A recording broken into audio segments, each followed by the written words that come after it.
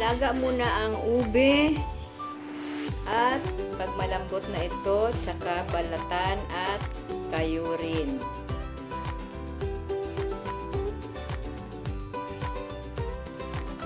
Yan guys, balat na na ube. Hindi pa tapos. Kasi ko muna yung pagbabalat guys. Sabi kasi nila, mas masarap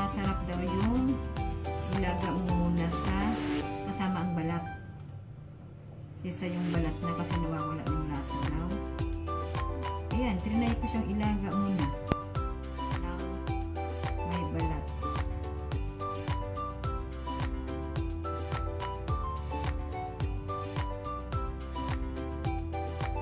Iti ang kilo nito guys.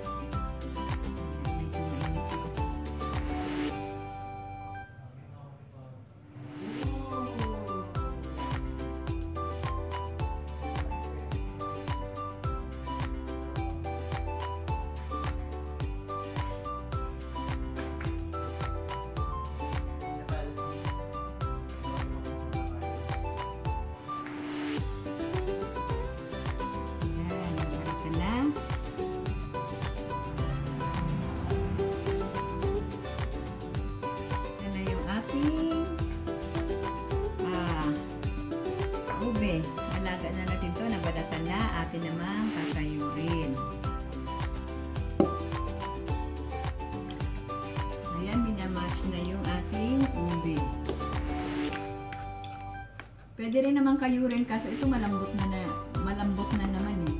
Pwede na siyang i-mash.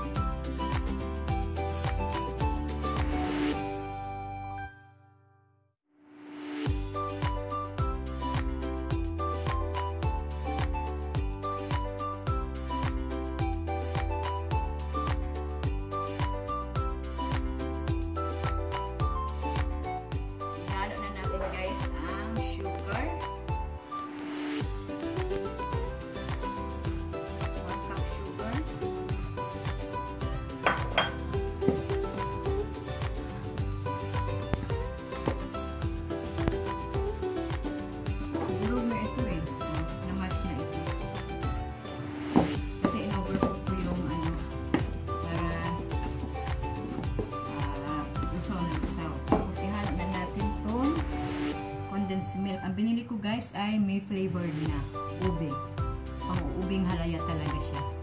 Sa, meron din siyang buko pandan, pang buko pandan na pag gumagawa ka ng buko salad. Meron din siyang flavor na ganito. Ayan. Ano na siya? Purple na siya.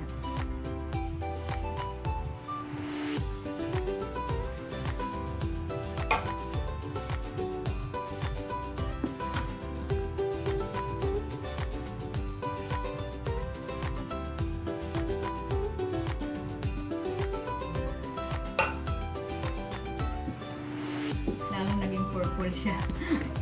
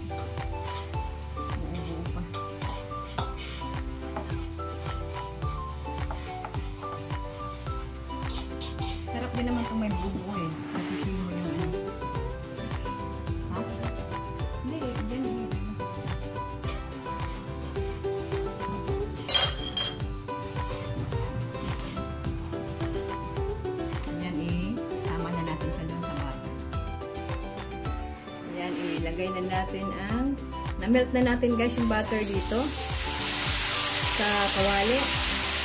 Ah, ilagay na natin ang mixture ng ube.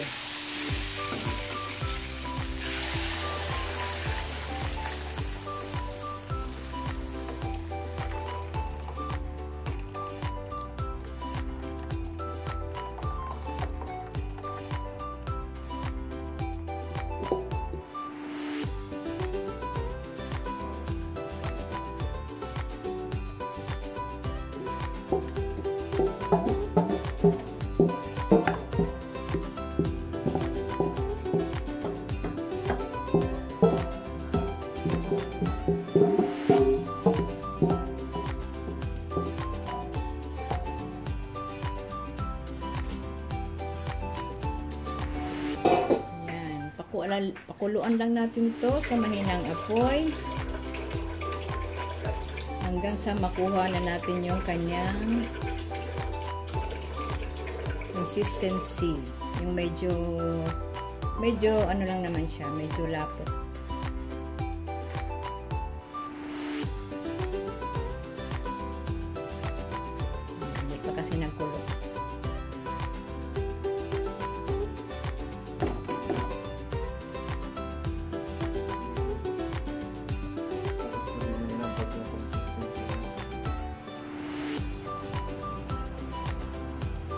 Malapot na siya guys. Malapit na siya. Konti na lang. Ngawit na ang aking kilikili. Yan.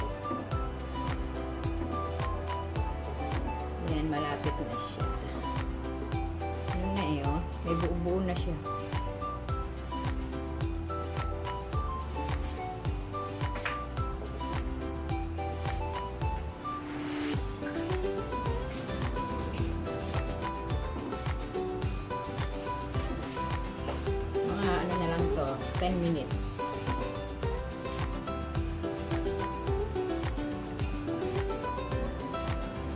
Ang alay sa ano? Kilikili? May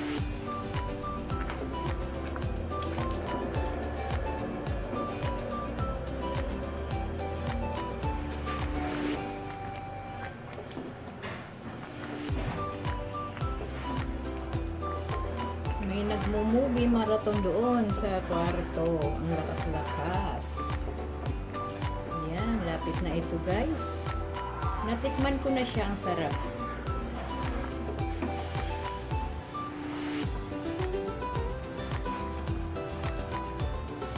Tutubuan na ng ugat yung kilikili ko nito.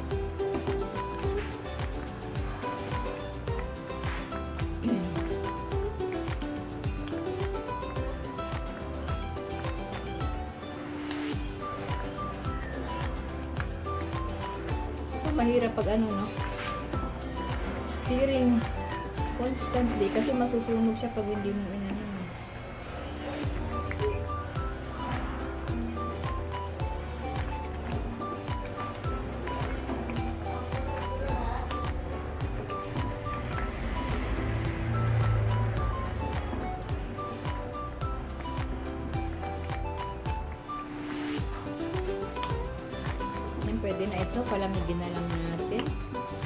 Ayoko yung masyadong tuyong-tuyo.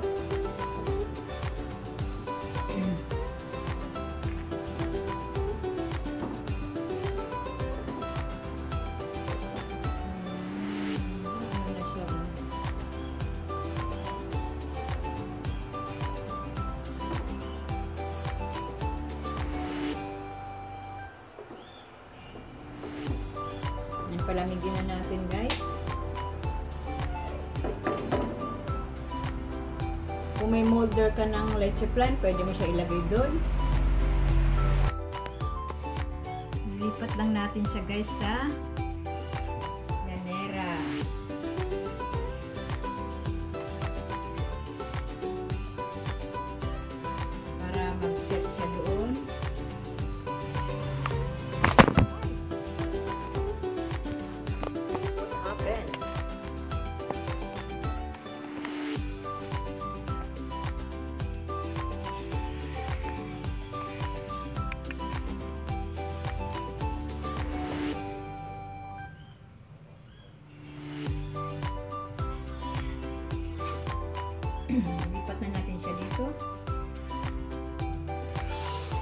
Sa molder. Kahit anong gusto ng molder. Ako gusto ko yung malaki. Slice na lang siya. Di ba nilalagay sa lagayan ng leche plan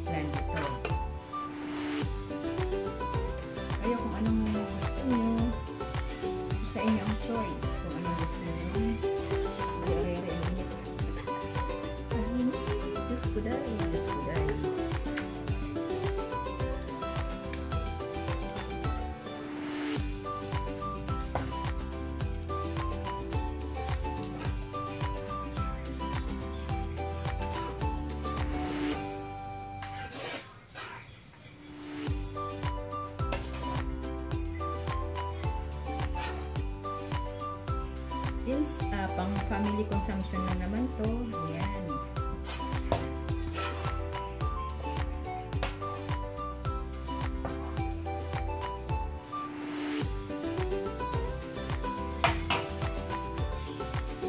Ano yung pinaglagyan ko? Ito.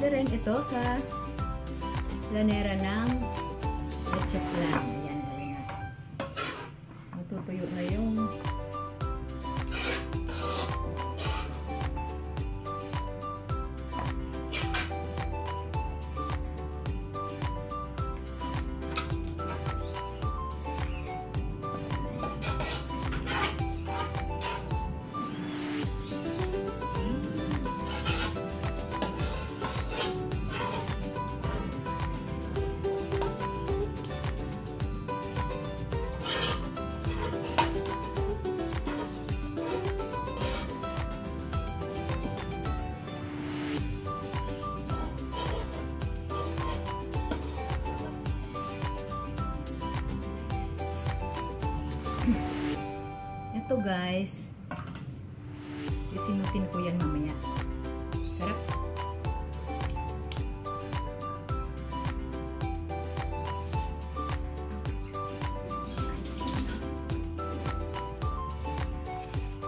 Ayan, palamigin lang natin konti, tsaka natin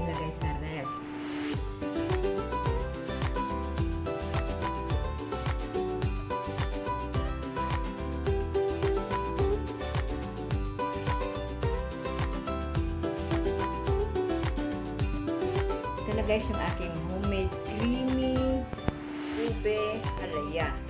Ayan siya guys, creamy siya. Pwede siya yung, hindi siya yung matigas na ube, yung ano siya, yung parang jam lang siya. Ah, yung ini-scoop, kinukutsara lang. Hindi na siya ini-slice. Kasi creamy siya eh. Ayan. Ito na guys. Tikman na natin.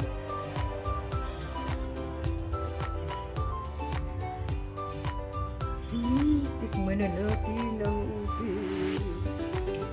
Ito ini-scoop, ini, kinukutsara lang siya. Pwede mo siyang ilagay sa garapon o sa ano.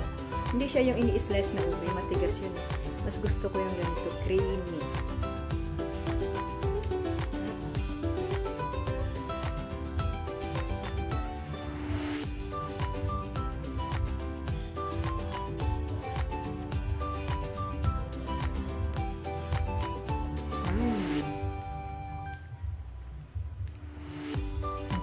Creamy talaga siya.